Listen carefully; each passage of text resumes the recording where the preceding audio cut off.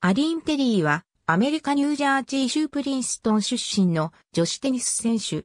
黎明期の全米選手権で活躍し、1893年に女子シングルス、女子ダブルスで単服2冠を獲得した選手である。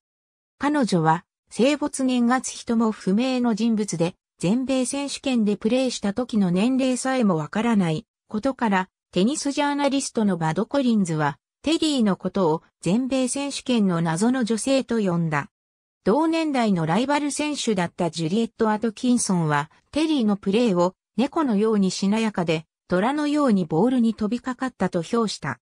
現在は全米オープンとして知られるテニス競技大会は、1881年から男子シングルスと男子ダブルスが始まり、女子シングルスはそれから6年後の1887年に第1回の競技大会が行われた。女子ダブルスは1889年から正式競技に加えられた。初期のウィンブルドン選手権と同じく全米選手権もチャレンジラウンドからオールカマーズファイナルへの流れで優勝者を決定した。アリーン・テリーは1893年に第7回の女子シングルスと第5回の女子ダブルスで優勝し、単服2冠を獲得している。女子シングルスのチャレンジラウンド決勝で、テリーはオーガスタ・シュルツを6から1、6から3で破り、大会前年優勝者、マーベル・カーヒルへの挑戦権を得たが、カーヒルはこの大会に出場しなかったため、1893年のオールカマーズファイナルは行われず、ここでテリーの初優勝が決まった。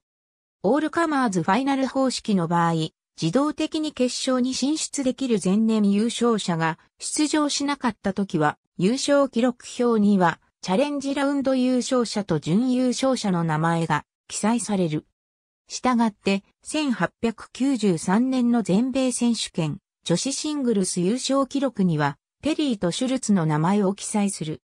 女子ダブルスでは、テリーは、ハリエット・バトラーとペアを組んで優勝した。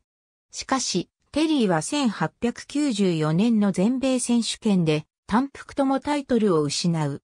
女子シングルスのオールカマーズファイナルで、テリーはチャレンジラウンド勝者のヘレン・ヘルウィックに5から7、6から3、0から6、6から3、3から6のもセットマッチで敗れた。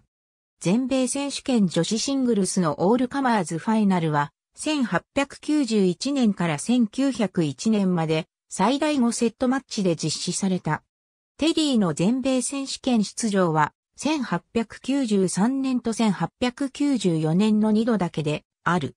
冒頭で述べたように、彼女は選手権参加時の年齢さえもわからず、引退後は消息が途絶えてしまった。ありがとうございます。